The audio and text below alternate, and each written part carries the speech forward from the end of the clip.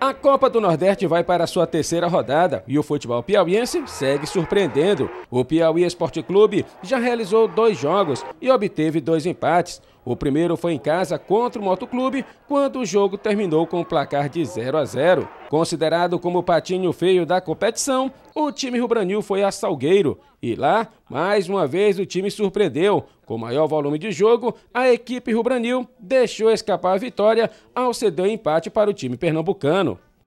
Com dois pontos na tabela de classificação, o Piauí tem pela frente o Náutico, em jogo que valerá seis pontos.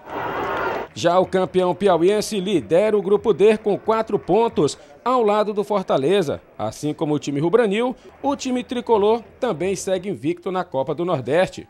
O River vem demonstrando dentro de campo e dentro da competição que tem time para passar de fase e chegar à reta final. Foram dois grandes jogos, um contra o Botafogo, em João Pessoa, na Paraíba, e por último, aqui em Teresina, contra o Ceará, diante da sua torcida, que lotou as dependências do estádio Albertão.